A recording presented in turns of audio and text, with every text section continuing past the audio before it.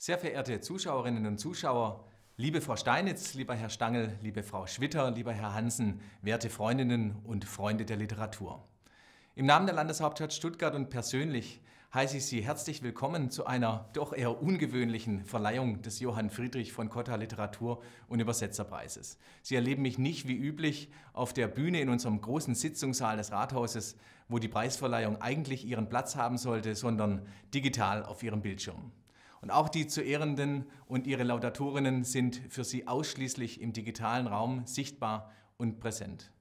Ja, einerseits blicke ich mit einem weinenden Auge auf den leeren Saal, wo wir die Literatur und mit ihr die beiden Preisträger feiern wollten. Aber auf der anderen Seite bin ich sehr froh, dass wir in dieser herausfordernden Zeit dennoch einen Weg gefunden haben, diesen Preis übergeben zu können. Ich kann Ihnen versichern, dass es der Stadt Stuttgart ein großes Anliegen ist, trotz der Corona-Pandemie eine brillante Übersetzerin und einen herausragenden Autor angemessen würdigen zu können.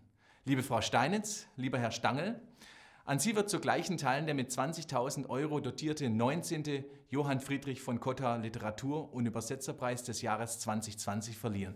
Herzlichen Glückwunsch zu dieser Auszeichnung. Seit dem Jahr 1978 wird der heute Cotta-Preis genannte, damals als Literaturpreis der Landeshauptstadt Stuttgart aus der Taufe gehobene Literatur- und Übersetzerpreis verliehen. Er geht zu gleichen Teilen an zwei PreisträgerInnen für herausragende erzählende Literatur oder publizistische Essayistik sowie für eine herausragende Übersetzungsleistung.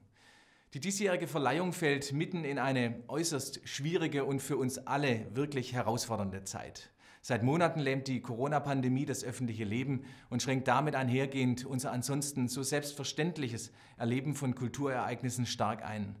Aber umso wichtiger ist es, diese Ausnahmeverleihung auch stattfinden zu lassen. Zum einen, weil das Gespräch über Literatur und mit den Literatinnen und Literaten fortgeführt werden muss.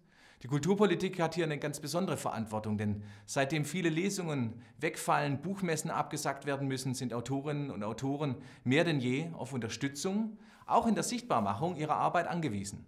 Gerade jetzt müssen wir die großen Leuchttürme der Literatur feiern. Zum anderen bleibt das Auszeichnen wichtig, um unserer Wertschätzung und unserer Anerkennung für die wertvolle Arbeit der Literatinnen und Literaten Ausdruck verleihen zu können.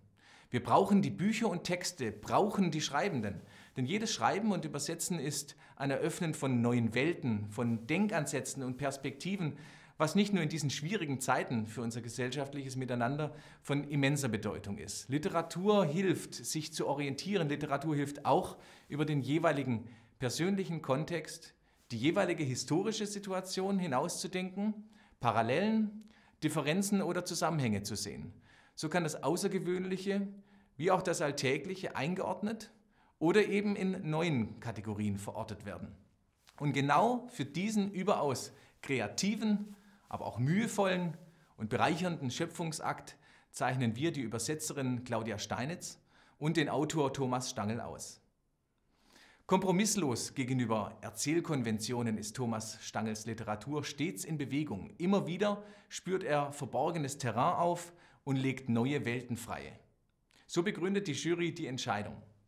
Bei der Übersetzerin Claudia Steinitz würdigt sie ausdrücklich ihr sprachliches Einfühlungsvermögen und große Stilsicherheit, mit der sie in jedem Moment den richtigen Ton trifft und es vermag, den Texten die authentische Prägung eines zweiten Originals zu verleihen. In diesen kundigen, ebenfalls digital abrufbaren Beiträgen der Laudatorin Monique Schwitter und des Laudators Christian Hansen können Sie vernehmen, was die Jury noch dazu bewog, diesen beiden Persönlichkeiten den Cotta-Preis zu verleihen. Die richtigen Preisträgerinnen und Preisträger zu finden, erfordert eben neben emsiger Lesearbeit auch fundierte Kenntnisse und Interesse an der Gegenwartsliteratur. Und deswegen möchte ich an dieser Stelle ganz herzlich der Jury danken.